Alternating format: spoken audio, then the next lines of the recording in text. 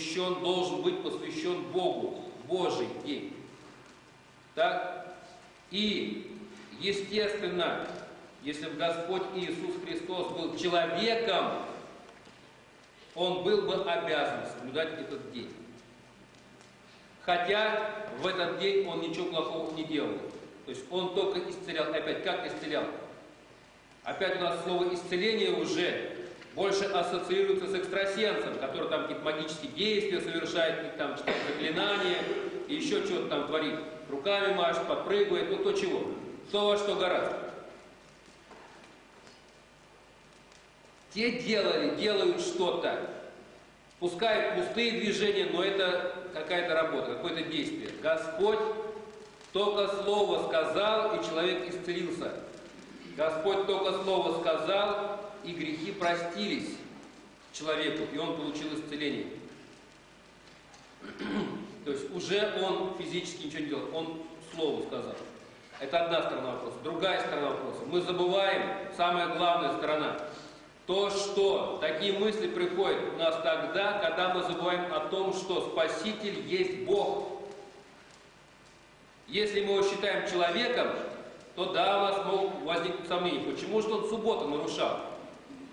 Но это Бог, надо не забывать, это Господь, Сын Божий, вторая ипостась Святой Троицы, то есть сам Бог,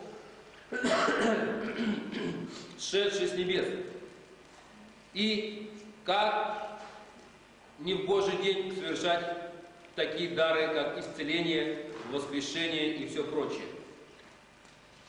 То есть это день Божий, и Бог в него совершает, что считает нужным. Не наше дело судить волю Божию. Но это мы забываем, и поэтому у нас тоже вместе с теми же самыми фарисеями возникает раз сомнение. Почему так все время субботу нарушал, любил нарушать? Да потому что он Господь Бог, который дал субботу человеку, который заповедь дал, что этот день отдай Богу, и исцеление, кстати, кто получал в этот день? Никто попал, а тот, кто этот день посвящал Богу. Если мы проанализируем Евангелие, что мы видим? Всегда мы слышим слова Господа «иди и больше не греши». То есть, значит, человек покаялся. Или «иди, вера твоя спасла тебя». Веруй, как веруешь. То есть, исцеление получали не все люди, а те, кто действительно веровал Господу, те, кто перед Ним каялся. И поскольку фарисеи больше всего осуждают нарушение субботы, то есть Господь исцелял субботы, это говорит нам о том, что те люди, которые подходили к Нему в субботу, именно подходили как к Богу, не как к человеку, не как к какому-то магу, не как к учителю или философу, а как к Богу. И потому они получали от Бога все, что хотели. Потому что блюли день Божий, день субботний. Молились и каялись в этот день, и получали, что просили у Бога. Потому Господь и дает. Но злые люди, не желая признавать в Господе Иисусе Христе Бога, естественно, пытались подтасовать свои законы, кстати, Богом же данные, э, подтасовать так, чтобы обличить с помощью этих законов в нарушении этих же самых законов, того, кто их дал. И если мы проанализируем свою жизнь, то мы не можем не увидеть, э, что вот это вот законничество то есть использование закона, когда мне это выгодно, и умоление его, незамечание его, когда мне это невыгодно, постоянно гнездится в наших душах. И пример начнем с того, что других мы в грехах осуждаем, обличаем. Правильно? Потому что не нарушают закон. Закон Богом дан, закон совести, закон нравственности, закон морали, закон даже государства, общества, нарушают. И мы недовольны, мы их осуждаем, обвиняем, ругаем, говорим про них. Но в то же время сами ведь тоже грешим, тоже нарушаем законы, данные Богом, законы совести, законы нравственности.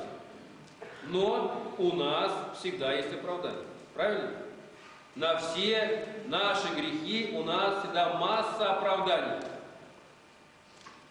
Когда нам совсем нечем оправдаться, мы так говорим, что не могу с собой вот ничего сделать, не могу справиться с этим грехом. Вот сил мне не хватает. И опять не говорю. Или же, ну это не такой большой грех, подумаешь, что это мелочь. А вот она грешна, это да. Это уж да, серьезно. И как такое можно вообще сделать? И как она вообще смогла? Там он. И как у нее язык вообще повернулся такое сказать? Хотя я, я еще хуже могу сказать. Ничего страшного, как мелочь. То есть вот здесь уже в нас с вами сидит то же самое законничество. То есть закон нравственности, совести, Богом данный. Мы, когда нам выгодно, его берем к себе, вот так и так положено, нельзя, и так далее. Когда нам не выгодно, ну подумай, что это ничего страшного. Ну тут в силу разных обстоятельств можно немножко так отойти. Значит, вот то самое лицемерие, которое было у фарисейства, у фарисеев есть и у нас. Закон, когда нам он выгоден, мы его привлекаем к себе, даже раздуваем его больше, чем надо. Когда он нам не выгоден, ну вот так, сжимаем. И еще момент в этом можно усмотреть один. Очень часто мы по отношению к другим бываем более строгие, более требовательны, чем это надлежало бы быть. Сколько мы знаем случаев, когда человек хотел сделать хорошо, получилось плохо. Хотел сделать как лучше, а получилось совсем непредвиденное. И мы его ругаем, осуждаем, зачем ты это сделал, кто тебя просил, зачем ты это творил. Но, но мы же не понимаем, что да, он хотел как лучше. Понимаем это. И вот это вот стремление к лучшему мы не учитываем, мы его как бы не видим. И видеть не хотим, мы видим вот то плохое, что получилось из его хороших побуждений. И вот это плохое мы его пилим, осуждаем, критикуем, ругаем, козни строим соответствующие, мстить пытаемся. Ну, каждый по-своему все идет в жизни. Значит, что? Мы во всем подобны этим самым фарисеям, которые пытались с помощью закона и Бога обвинить. Хотя Бог делал исключительно добро, исключительно дела Божьи Он делал, потому что Он Бог. Вот это в жизни нашей постоянно встречается, постоянно имеет место. Значит, мы с вами тоже подобны этим людям, которые пытались судить Бога с помощью закона. Хотя Бог никому никогда ничего плохого не сделал. И то пытались. А если человек, любой человек, он несовершенен, и не такие уж все плохие, каждый хочет, бывает в жизни, что человек хочет лучше, хочет чего-то хорошего, но что-то вот не рассчитал, что-то не учел, ну нельзя все охватить. Получилось плохо, или реакция у людей не та, какой он ожидал, вместо хорошей плохая пошла. Все, и мы его критикуем, мы его судим, мы его осуждаем. А правильно ли мы поступаем? Совершенно неправильно. Потому что здесь мы тоже являемся законниками. То есть не теми, кто блюдет закон, а теми, кто блюдет букву закона, внешний вид закона, причем по отношению к другим, а не к себе. Не положено, ты не делай. Но мне можно, конечно. Потому что у меня более такие есть причины. Это законничество называется. И это у нас всегда сидит. И еще один момент а, анализа и аналогии с нашей жизнью, современной, то есть той исторической действительности и нашей современности. Все, что от дьявола люди приемут с радостью. То, что от людей люди тоже примут с радостью. То, что от Бога всегда воспринимается в штыки. Опять же, сам Бог на земле, сам Бог чудеса являет, и люди его не приемлют, ни его самого ни его слова, ни его действия, сопротивляется с невозможной силой. Мало того, пытается обвинить его в нарушении им же данных законов. То есть противиться Богу на всех уровнях. И как только что-то от дьявола, с радостью все кидаются. Примеры приводить не обязательно. Мы и так хорошо знаем, как, с каким трудом мы идем тяжело в храм. Нам все время что-то мешает, что-то нас не пускает, что-то нам мешает молиться, что-то нам мешает покаяться, постоянно нам мешает что-то. Любое доброе дело сделать очень трудно. Правильно? И часто бывает так, что хочешь сделать добро, получается зло. В то же время любые другие дела, которые не относятся к улучшению нашей души, они легче получаются. Любые другие дела, которые относятся к грехам, они вообще хорошо получаются. Надо только начать. И любой грех хорошо идет. Любой грех. Теперь такой момент. С каким трудом мы идем в храм, с каким трудом мы идем в церковь. Но как легко мы все поклонились тому же Кашпировскому и другим ему подобным. По сей день никак не можем от этого отвязаться. Даже взять на политическом уровне, с каким трудом все идут, э, противятся объединению государств, но так легко взяли и раскололи. На, на всех уровнях, на каких не взять, будь то духовный, будь то просто житейский, будь то э, политический, будь то эконом... любой. Все, что как-то к хорошему, все нам с трудом дается.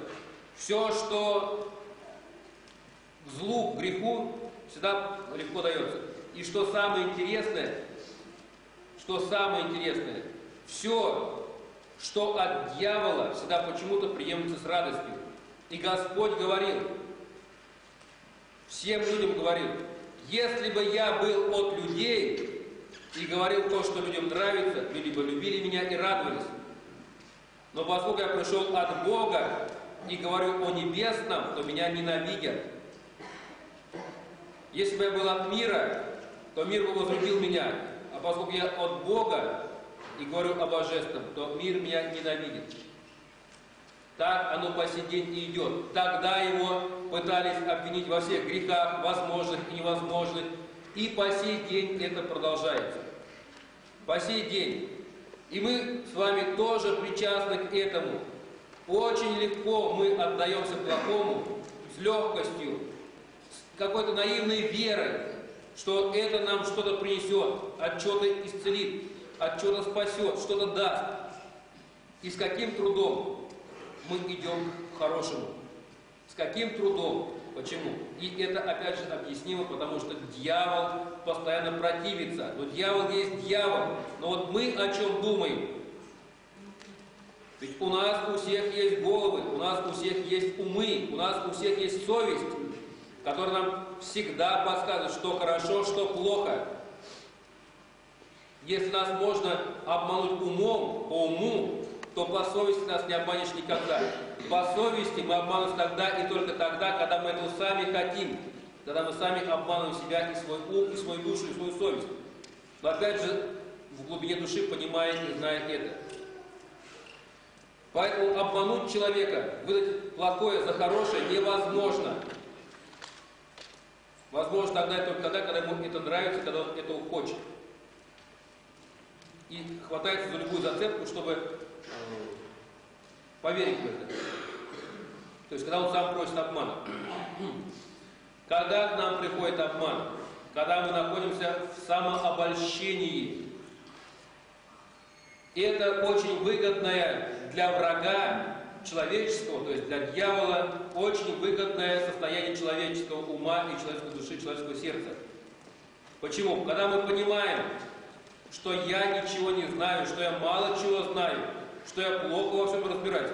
Я тогда буду ориентироваться по Слову Божью, по Слову Церкви. И когда вдруг я считаю, что я умный, меня тут не учить, я все знаю. Я такой умный, я во всем разбираюсь. Вот тут-то меня легче всего обмануть, провести, обвести вокруг пальца, выдать плохое за хорошее. Так вот, в плохое мы лезем потому что нам это нравится, потому что нам нравится самих себя обольщать, взирать на свои способности, на свои возможности, на свои таланты и на все остальное. И начиная с малого греха, мы таким образом творим уже великие грехи в великом количестве и себя лишаем благодати Божией, лишаем себя спасения. Для того и пришел Господь, для того Он нам столько чудес явил, чтобы прозрели мы от этого самообольщения, чтобы открыли свои духовные глаза и пошли по пути спасения. Аминь. Отца и Сына и Святаго Духа. В сегодняшнем евангельском чтении мы слышали о том, как Господу подошли 10 прокаженных, а как мы знаем, проказа болезнь очень страшная, очень тяжелая, особенно на юге, особенно там, где жили евреи, особенно у них.